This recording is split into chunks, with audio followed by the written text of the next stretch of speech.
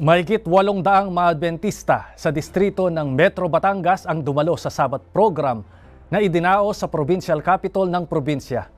Sila ay nagtipon upang maglingkod at makisangkot sa Hope Impact 2022. Doon ay mahigit tatlong libong mga babasahin ang kanilang ipinamahagi sa mga tao at kabilang sa mga nakatanggap ng libro ay ang mismong gobernador ng Batangas. Ang masaya nilang paglilingkod, balitang hatid ni Norin Hernandez.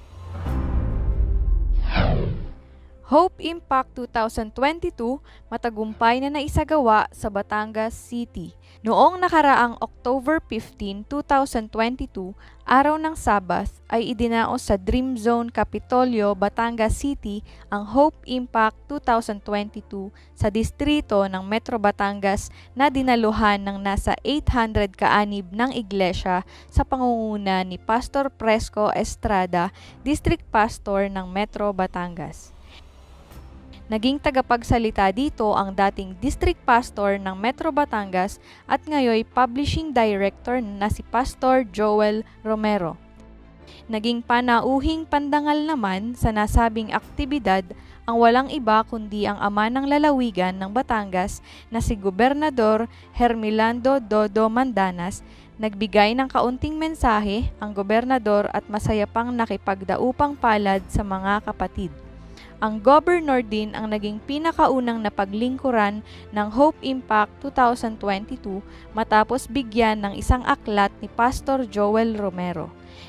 Naging kabahagi din sa pagtitipon ang ating Sabbath School at Personal Ministries Director na si Pastor Santos Eranista at District Pastor na si Pastor Presco Estrada.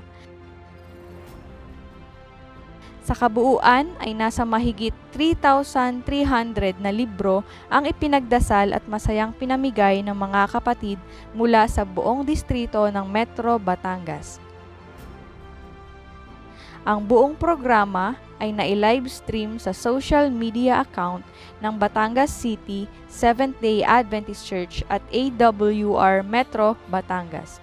Ang Hope Impact ay ang malawakang pamimigay ng pag-asa sa pamamagitan ng mga libro at babasahin na ipinamamahagi sa iba't ibang lugar maging sa mga kalye at tahanan.